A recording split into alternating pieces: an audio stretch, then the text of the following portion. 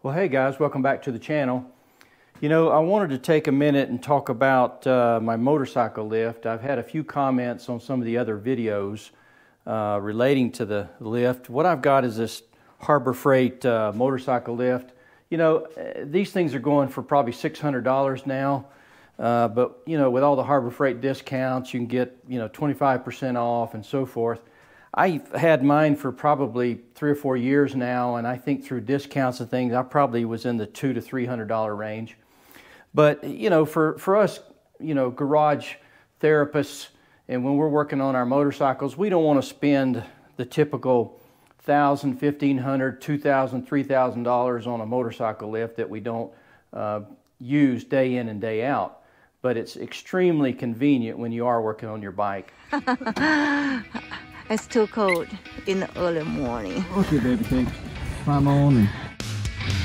You know, I've seen a, a lot of uh, videos out there uh, on YouTube where people have taken these hydraulic lifts, they've uh, put in uh, uh, pneumatic type uh, cylinders in order to bring them up and down without having to pump them up with your foot.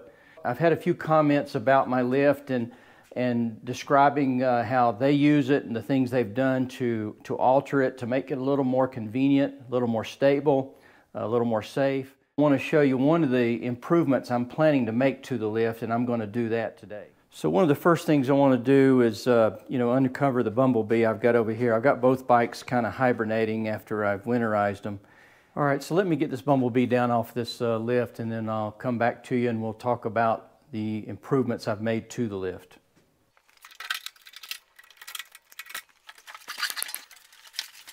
Okay guys, so some of the things that I've done to the lift is I uh, added this wheel chock directly onto the frame. The, the original chock I thought was not very stable and uh, to be honest, not very good quality. So, and what this allows me to do is ride the bike up onto the lift and immediately uh, chocks the, the front wheel in place. And it also gives me a little wider location to put my tie straps to. I've got a second one actually up here that I use uh, when I, I bolt it to uh, some wood structure when I'm hauling my bike inside the bed of the truck. In addition, you know, there, were, there was a time when I drilled and added uh, these uh, U-bolts to the side when I want to be able to strap the bike down here on the sides for long-term purposes. But nine times out of 10, the, the straps that I use up front off of those two eye bolts uh, gives me plenty of uh, security when I tie the bike down. Now the addition I want to make to the lift today uh, is going to help in a lot of ways. And you can see now when I'm riding the bike up onto the lift, uh, I'm slipping on the back tire and just don't have a good friction surface in order to keep the bike stable when I'm riding the bike up. Now I ride up quite slowly and and uh, engage on the wheel chock here. Anyway, so I want to make the surface here a lot more stable. So I bought this 80 grit sandpaper abrasive surface. Now this roll is 12 inches by about 30 feet long and it cost in the neighborhood of 30 to $35 on Amazon. I'll give you a link to that for those that are interested in. So again, anti-slip tape.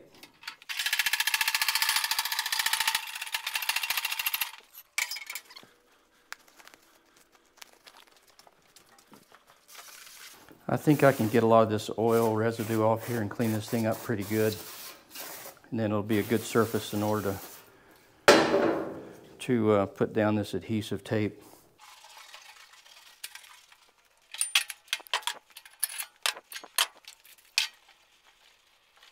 Well guys, what I've decided to do is go ahead and unbolt this wheel chock. When I put it on here originally, I, I drilled through the lift and, and bolted the wheel chock down here and through the, the bed itself. So I'm going to take that off. I, I know there's going to be some oil and dirt underneath there, so I just want to get it perfectly clean before I put down that uh, new uh, friction surface. Well guys, I decided to get a little bit smarter on this. Use a little bit of technology.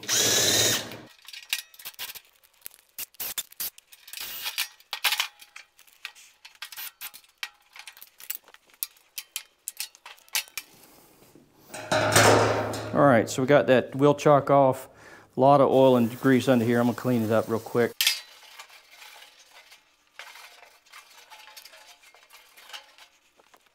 And I've also got this uh, piece that pops out of the, the back here, I think just to allow you to uh, take it out and be able to drop a back wheel. And then obviously the ramp here. I'm gonna clean it up good. You know, that feels pretty clean. No oil. So I think I'm just about ready to roll that, uh,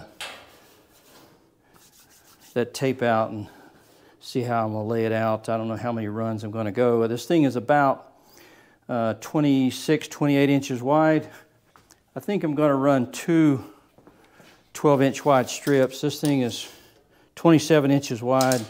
I think with 24 inches, that'll give me uh, plenty of surface. There'll still be a little bit of exposed red on the outside. This is a, a checker plate steel, so I'm kind of curious how that uh, tape is going to adhere and stick over the checker plate. Had a fella comment on one of my videos uh, recognizing the lift that I had. He had said that he had the same lift, the same chock, and he mentioned that he had some type of an anti-slip surface he had put on there that got me thinking. And obviously I felt like, hey, I got to have that too.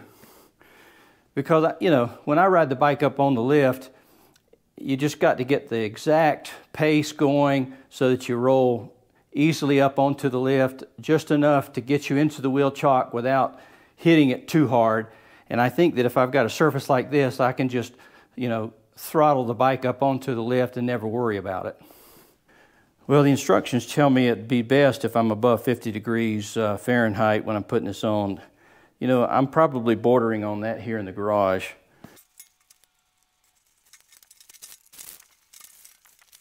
I'm gonna think a little bit about how I wanna lay this thing out before I actually cut this stuff because, you know, it, it's not cheap, but at the same time, I, I've got excess if I need it. I'm thinking for to allow it to adhere well and to have a little bit of a return. And what I mean by that is, is have it wrapped down on this front surface and then again down on the back surface. And then I'll run a piece on each side. Being as that I'm not a great carpenter, I tend to measure four times and cut once rather than measure twice and cut once. All right, so I'm gonna cut these two strips uh, 90 inches long, and that should give me two 12 inch wide strips.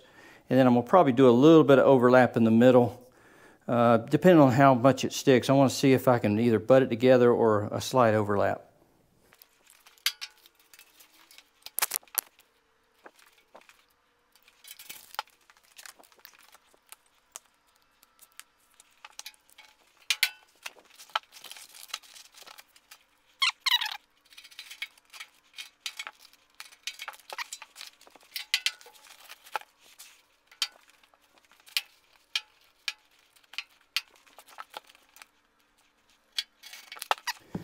So let's see how this goes on.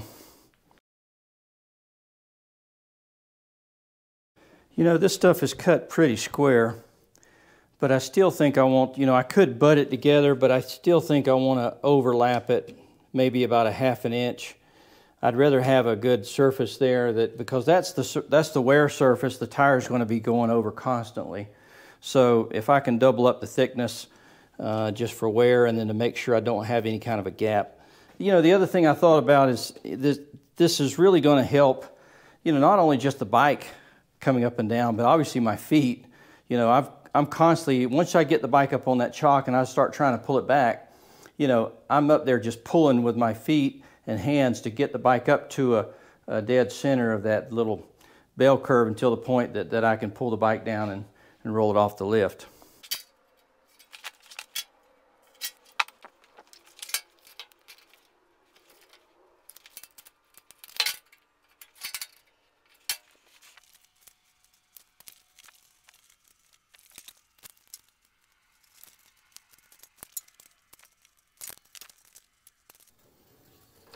Maybe I'm a little bit anal here, but I really want it to look good once it's put on there.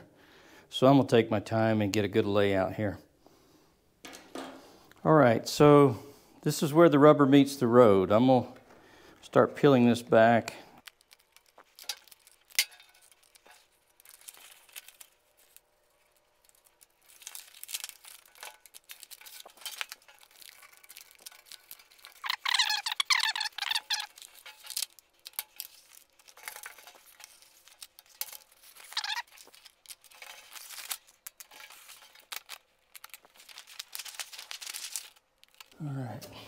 All right, that looks pretty good. Let me see if I can't work it up over all this uh, checker plate. Get a good, good stick to where I want it. I'm gonna cut this out. I'll take another piece and put down over my uh, removable hatch here for the back wheel.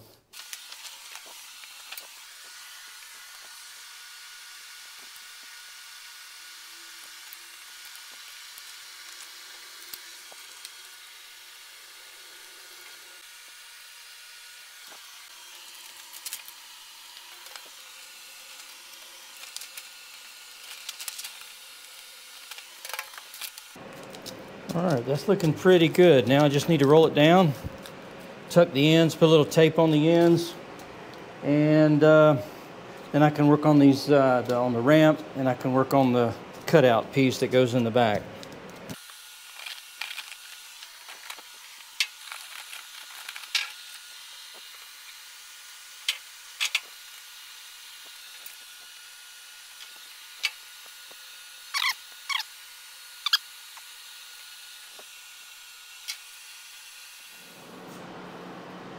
All right, so I've got it pretty well put on now. I need to maybe run a roller over it a little bit more just to make sure it sticks well. But, uh, you know, I'm real pleased with that. That's turned out really nice. Yeah, that's turned out really nice. I've got it on. You can kind of see how it's kind of adhered to the checker plate steel there. But it's, uh, you know, I'm glad I put a little bit of overlap in the middle here. You can't see it very well. There's about a half inch of overlap right there. And I'll tell you what, this 80 grit, I can sit here and file my fingernails on it all day long. This stuff is really tough. I was sitting here trying to clean something off a little while ago, and that white surface there is actually my skin on my thumb. That's some rough stuff. So I think that's going to be really good for the bike to run up on and for my, my boots when I'm trying to get a little bit of uh, force when I'm trying to pull that bike up off the chock, get it back off the ramp. All right, so what I'm gonna do now, I probably won't do on camera, but I'm gonna take and wrap that piece there that uh, fills in the slot where you take out for the rear tire here. And then I'll go ahead and run two, uh, two runners right down the, uh, the ramp there. And uh, I'll come back and show you the finished product.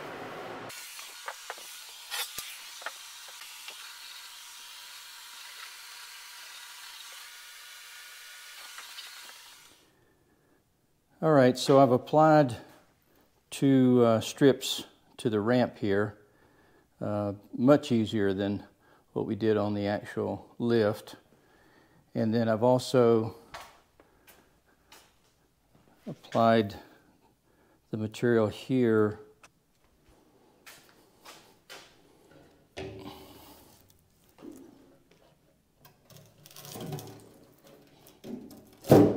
All right, so we got that in. So I think the next thing I need to do is I've got to bolt the uh, wheel chock back onto the front here and then, you know, we'll be ready to go. We'll pull the Bumblebee back up here and see how easy it is.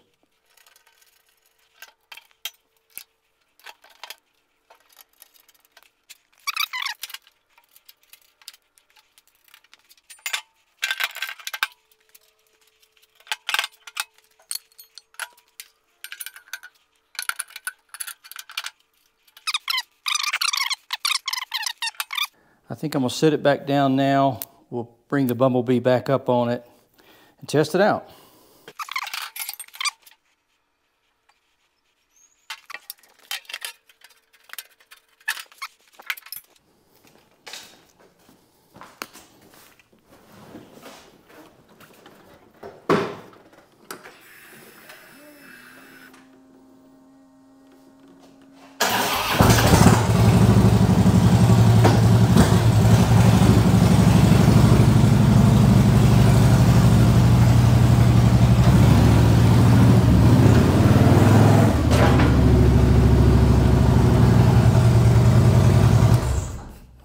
was a lot easier.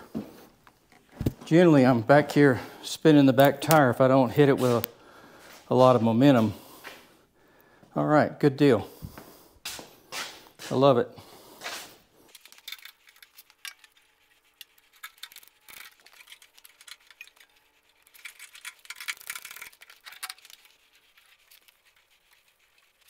All right, there's one other thing I want to show you. I bought me another uh, center lift because I, I do like to bring the bike up off the tires when it's parked for the winter. Uh, so I've got this little lift here. I'll show you that.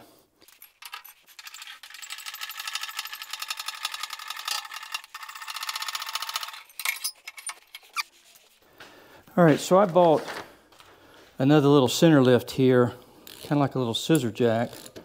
And I had one once before. And these things are not terribly expensive, but then again, you're getting, you know, it's really mostly just heavy iron. It's not, it's not the best lift in the world as far as quality goes.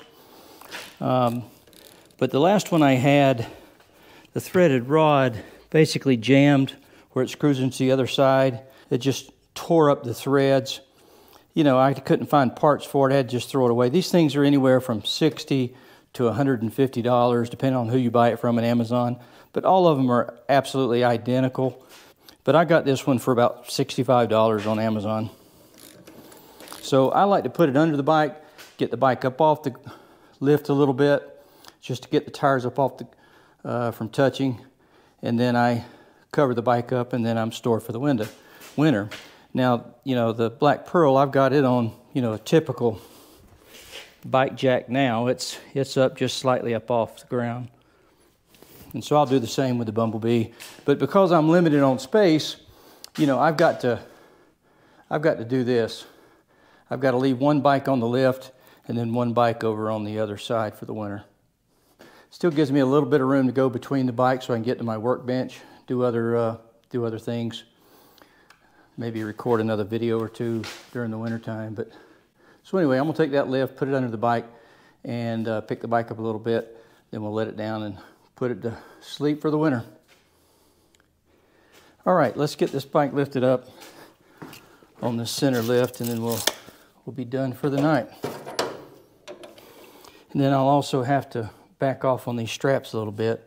This will raise the back wheel up, and this is what I do when I need to take the back tire off. But uh, I'll back off on these straps on the front a little bit. We'll get the whole bike just, you know, an inch or so up off the, off the lift.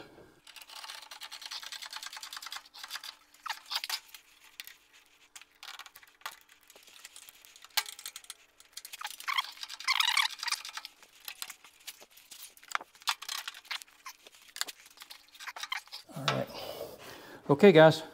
So, job done.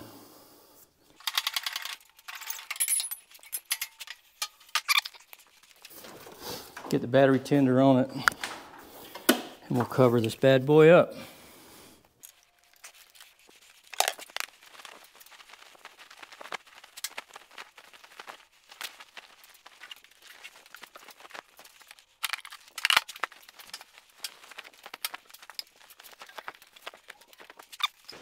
So guys, that's a wrap. I really appreciate y'all watching. I uh, hope you picked up a two or three things here related to how to improve your lift. Uh, for those of us who don't work on motorcycles for a living, uh, this, you know, four or five hundred dollar Harbor Freight lift is more than adequate. I've been using it for five years. Uh, like I say, I've made a, a, number of improvements that I, you know, I think makes it a whole lot better and a lot easier to use. And it sure makes my back a whole lot better when it comes to doing maintenance on my bike. Uh, you know, share some comments with me. Tell me the things that I should be adding to my lift or things I should be doing to make my lift more functional uh, you know, give us a thumbs up. That really helps uh, move our videos out there and gets a little wider uh, accessibility, maybe a little more viewership. Uh, subscribe if you enjoy what we do. Uh, again, a thumbs up, subscribe. We really appreciate it. So, guys, thanks for coming along. The next time I come out here and do a little garage therapy, hope you'll come and go with us.